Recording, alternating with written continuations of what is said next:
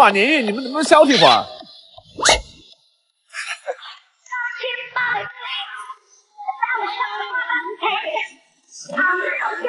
哎，张哥，自杀阿姨的视频你给几分？三点四分，六分。哎，你凭什么给我们打分？你呀，最多两分。两分？哎呀，算了，别跟小孩一般见识。凭什么你六分？我为什么才两分？张阿姨，你别输不起啊！啊，就是，我跳了。张阿姨，菜不多的。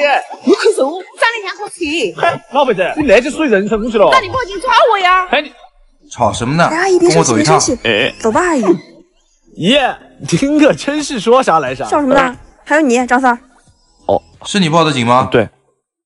启动三所联动调解工作。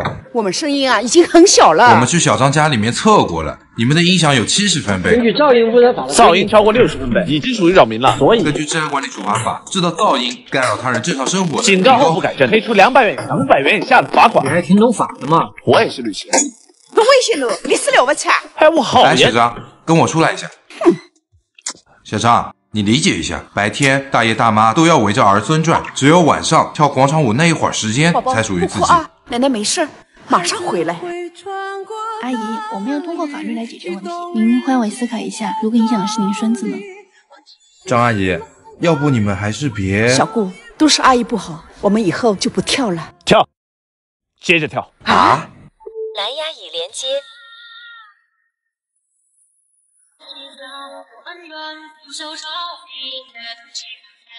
发现人道艰难面，不为山河过客，却总长叹生离别。祝大家新年快乐！